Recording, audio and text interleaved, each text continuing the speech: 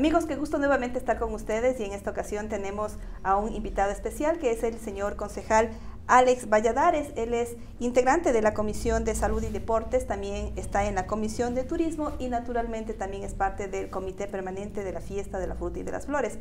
Con él vamos a dialogar respecto a su accionar dentro de cada una de estas comisiones. Vamos a conocer un poquito de su trabajo y qué ordenanzas están trabajando en cada una de estas comisiones. Bienvenido a la audiencia del Heraldo, coméntenos cuál es su accionar en estas comisiones. Bueno, muy buenos días, qué gusto saludarles. El trabajo a veces eh, que es desconocido por la ciudadanía, por, el difícil entendimiento de qué hace un concejal, hace que de pronto eh, no se tenga ese conocimiento vasto sobre qué hacemos como, como tales, ¿no es cierto? Pero dentro de las comisiones debo informar, por ejemplo, que justo esta semana, el día martes, eh, se tuvo ya como efectiva la ordenanza que propuse ya hace eh, unos meses atrás respecto a los incentivos deportivos para los medallistas que lo hagan o que ganen medallas en eh, Juegos Nacionales, en Juegos Olímpicos, Bolivarianos, Sudamericanos, Panamericanos o Mundiales. y la idea es de que todos estos chicos, todos estos deportistas, élites, que pertenecen a estos deportes de ciclo olímpico, eso hay que hacer muy claro, ganen medallas a nivel internacional, como por ejemplo Ana Paula López, que es una de las ganadoras del año anterior, eh, medalla de oro eh, en Panamericanos de BMX, se implementó esta ordenanza y el día, de ayer, el día martes se aprobó ya ese incentivo de aproximadamente 2.700 dólares por la medalla de oro ganada en, en este campeonato panamericano. Entonces, eso ya es uno de los resultados que ha dado la ordenanza que impulsamos como Alex Valladares y la Comisión de Deportes respecto a los incentivos deportivos. Y así hemos venido trabajando en otras áreas. Por ejemplo, no soy presidente de la Comisión de, Turismo, pero en esta comisión estamos tratando en estos momentos la reforma, la adecuación de mejoras de la cooperación internacional que puede tener el municipio respecto a estos eh, bienes, estos recursos económicos que pueden venir, venir de organismos internacionales. Creo que es importante porque hemos visto una falencia desde administraciones anteriores, no desde la actual solamente, en que la cooperación internacional ha estado relegada. Y nosotros vemos cómo organismos internacionales, cuando ven ciertos proyectos interesantes, disruptivos o que vienen en beneficio en varios aspectos, es necesario impulsarlos, pero ha habido una debilidad y por eso es que se ha creído por parte de la Comisión de Turismo y Cooperación Internacional fortalecer o fomentar esta ordenanza de mejora de la cooperación internacional respecto al municipio de Ambato. ¿Sería eh, con cooperación internacional el tema de captación de recursos no reembolsables, reembolsables? ¿Cómo sería la, la mecánica? Exactamente son los no reembolsables, los de asistencia técnica también, respecto a la cooperación internacional, ¿no es cierto? Como hemos dicho, hay una falencia también, no hay una unidad clara administrativa que que maneje, que direccione la cooperación internacional y por eso se están mm, buscando estos mecanismos de mejora para que recursos que vienen del extranjero también sean canalizados de la mejor manera para que el municipio pueda invertir en temas sociales, de desarrollo, eh, deportivos también podría hacerlo, porque no en nuestra ciudad de Ambato, de acuerdo a la cooperación internacional que se vaya adjuntando. Tal vez otras ordenanzas que están en el tapete y que de pronto las va a impulsar en estos meses. Bueno, eh, debo informarles también, y todos saben, que de acuerdo a la ley urgente en materia económica que presentó en diciembre el presidente de la República, obligó a todos los municipios de Ambato eh, presentar la ordenanza de remisión de intereses y multas de los impuestos eh, tributarios, digámoslo así, y en ese sentido, mi aporte como Alex Valladares eh, fue en dividir en dos cuerpos legales. ¿Por qué? Porque desde la administración municipal se planteaba que un solo cuerpo legal esté en la remisión de intereses y multas, tanto de los tributarios como no tributarios. Para mi modo de ver, eso no correspondía, era ilegal, era inconstitucional, porque no contaba dentro del aspecto que, el ámbito que determinaba la ley eh, de economía urgente.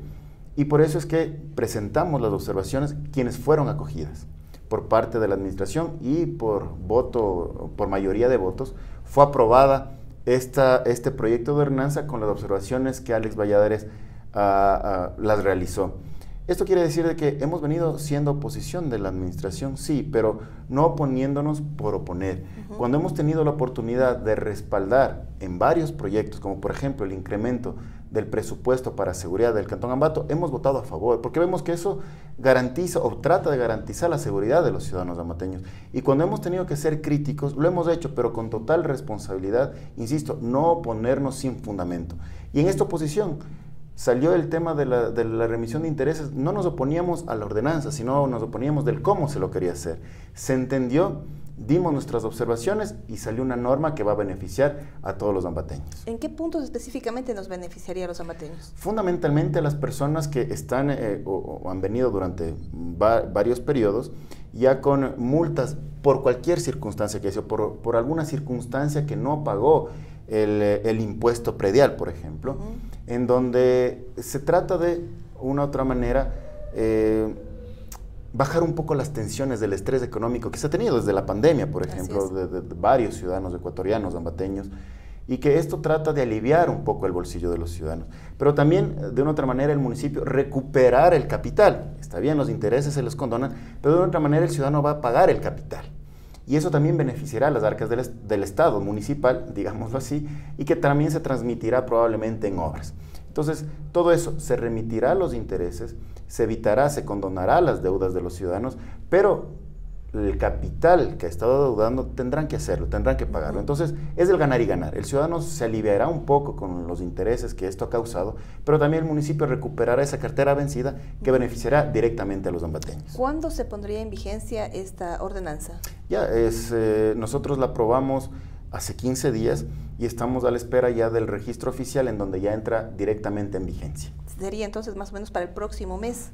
A veces ha habido ordenanzas que, que en tres días está en el registro oficial, a veces una semana, 15 días. Esperemos que ya eh, inmediatamente salga en el registro oficial, sea publicado, eh, los ciudadanos se benefician inmediatamente. Perfecto. Ahora, cambiando de tema, sobre el tema del comité permanente, es importante hacer una evaluación, un balance, cuáles fueron las fortalezas en este año muy atípico realmente. Eh, todos sabemos por el tema de, de, seguridad que fue una situación que el gobierno tuvo que tomar las medidas respectivas a nivel nacional. Entonces Ambato pues obviamente no podía ser la excepción y se trasladó un poco las fiestas, se movieron de fechas. ¿Qué podríamos decir de estas fiestas de la fruta de las flores, sus fortalezas y cuáles serían los puntos importantes a tomarlos para fortalecer estas fiestas para el próximo año? Bueno, hay que ser muy claros. Eh, hemos vivido momentos muy difíciles del tema del, del, crimen organizado, la delincuencia, y obviamente el gobierno nacional tenía que tomar decisiones. Y una de ellas fue declarar el estado de excepción. Y creo que, si no es del 100% de los ecuatorianos, un 90% apoyábamos esta medida, porque se evidenció que el anterior gobierno no quiso hacerlo porque no tenía la capacidad. Y este gobierno lo hizo. Hasta ahí todo claro, creo yo, y todos respaldábamos. Después hubo un desfase, que hace, hay que decirlo, críticas y autocríticas. Hubo un desfase por parte del gobierno nacional y las autoridades eh, gubernamentales de la provincia. Por un lado se decía que Ambato ya tenía un semáforo en verde, digámoslo así, uh -huh. pero acá las autoridades de la provincia dijeron que no podemos organizar ningún evento. Entonces eso, eso contravino o, o puso en ascuas al comité permanente porque mientras de lo nacional daban cierta luz verde, aquí en eh, las autoridades locales decían no vamos a dar ningún tipo de autorización. Esto causó un desfase y obviamente el comité permanente, a diferencia de los otros, eh, otros cantones donde se organizan fiestas, es un comité permanente que necesita sesionar para tomar decisiones. Y claro, con esta discrepancia que hubo entre lo uno y lo otro, no se pudo hacer la, las fiestas en el momento que se tenía que hacerlo vamos trasladándonos y dentro de los puntos positivos que la gente ha dicho es que no se jugó con espumante. Uh -huh. Entonces, muchos años han pasado. Yo recuerdo en la época de intendente de policía de Tungurahua, 2011-2012, ese problema, esa problemática ya venía desde mucho, desde hace mucho tiempo atrás serio. y que no se ha podido erradicar porque es muy difícil. Porque el festejar nuestras fiestas de las frutas y las flores, más allá que digamos que aquí no se juega carnaval, estamos viviéndolas en pleno carnaval y se hace difícil el, el, el, el controlar. Recuerdo como intendente una vez eh, decomisamos aproximadamente 15 mil espumantes, frascos de espumantes, pero en el mercado dijeron aproximadamente que existieron 60 mil o 70 mil. Y este año como nunca no hubo. No hubo, pero ¿por qué? Claro, no estuvimos en la fecha Así de carnaval. Uh -huh. Entonces, eso creo que es un punto positivo que mucha de la gente lo vio de buena manera. Uh -huh. Claro, vienen los otros, el balance que se tiene que hacer, creo que la próxima semana tendremos una sesión del, del comité permanente, es analizar de cómo afectó al sector turístico, al sector hotelero, al sector gastronómico de Ambato, porque claro, el tener el, eh, feriado de carnaval hace que varios turistas a nivel nacional y a nivel internacional vengan a nuestras fiestas también. Y claro, en, el número probablemente se redujo y la actividad económica o esas ganancias que de una u otra manera podían haber tenido el sector turístico, hoy se redujo. Pero eso tendríamos que analizarlo con el sector privado, obviamente, y saber qué es lo que pasó. De ahí creo que las fiestas eh, de nuestra ciudad eh, se llenaron de alegría. Hemos visto aquí un desfile muy bonito. Tenemos una ronda noctural que a veces me dijeron las personas que pudieron asistir y no lo pudo hacer existió más personas que en el, desfile, decían algunos. Eso hace ver de que también el tipo de, de, fiestas patrimoniales, como es nuestras fiestas de Ambato, hace que el ambateño se motive, se alegre, se manifieste de una u otra manera para continuar con ese legado histórico que tenemos. Y lo criticable probablemente, y aquí sí debo llamar a, una, a una convocatoria pública, a los ciudadanos, nosotros tenemos un evento muy arraigado de los ambateños, que es la elección de, de nuestra reina. Sí, existe un poco de polémica en relación a Más allá de que unos pueden estar a favor o en contra de que se dé eh, la elección de la reina, debemos entender que ahí están nuestras ambateñas, nuestras mujeres ambateñas, y que son, eh, de una u otra manera, personajes públicos que no deben llevar o no, lleven, no deben llevar en esos hombros esas críticas tan fuertes que se llevó. Eh, yo por cuestiones académicas no estuve en, la ciudad de Ambato. Me desconecté de redes sociales por dos horas aproximadamente y cuando me activé para saber cuál fue el resultado, vi que se incendió Ambato en redes sociales. Por eso yo quiero convocar a todos los ciudadanos a mantenernos en nuestras costumbres arraigadas, como nuestra, elección de la reina, nuestras fiestas de las frutas y las flores, nuestra, nuestra actividad patrimonial, pero dejemos a un lado de pronto esos revanchismos, esas iras, eh, que de pronto te podemos tener ante una u otra candidata, porque son mujeres nuestras, ambateñas, que de una u otra manera nos van a representar a nosotros mismos. Entonces sí convoco a esa tranquilidad, serenidad, que para próximas elecciones no convoquemos a través de la ira, sino más bien a través de la altivez ambateña, a través de esa solidaridad que podemos tener los ambateños. Algo que ha llamado también la atención de manera positiva es el hecho de que en esta ocasión tuvimos 12 candidatas, algo realmente impresionante, 12 candidatas y cada una de ellas estuvo auspiciada por varias firmas. Eso significa que existe una predisposición de la empresa pública y la empresa privada para eh, ser partícipes de esta feria. Claro que ha sido un año, como decimos, atípico, pero sin embargo se nota que existe la buena voluntad de la gente por apoyar este tipo de eventos, por que reactiva la economía ahí es uno de los puntos donde se evidencia que la gente, em, la, empresa privada estaba ávida de festejar nuestras fiestas, ¿no es cierto?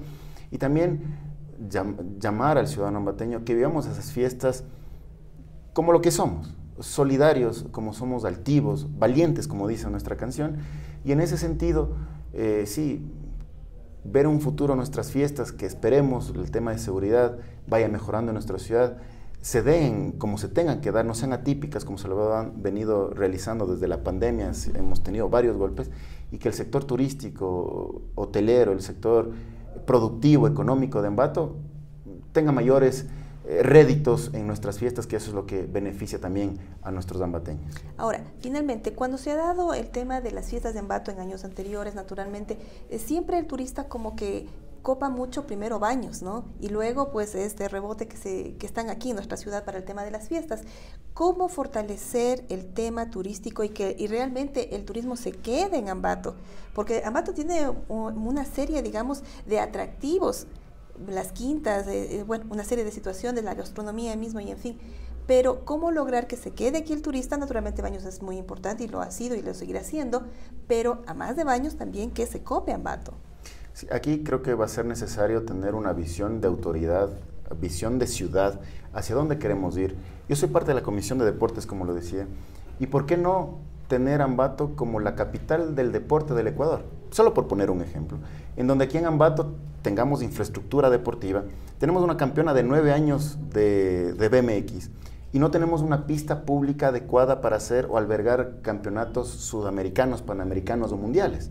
Eso nos pondría en otro sitial, en la palestra pública de ser Ambato una ciudad deportiva y que albergue este tipo de eventos. Entonces ahí empezamos, ya no es solo el deporte, Venimos de una actividad turística, una actividad económica que vienen los turistas de acá para, para observar a nosotros los ambateños con esa infraestructura que tenemos. Y eso por poner un ejemplo, podemos ser la capital de la cultura. ¿Por qué no pensar en Ambato la capital de la moda, por ejemplo? Tenemos aquí textileros, tenemos eh, el tema de los zapatos, tenemos varios aspectos que Ambato le podrían posicionar, pero no hemos, visto, por ejemplo, un desfile de modas de carácter internacional, que vengan las marcas mundiales y posicionar a Ambato desde ese punto de vista. Entonces todo eso también depende de la visión con la que se quiere desarrollar la ciudad.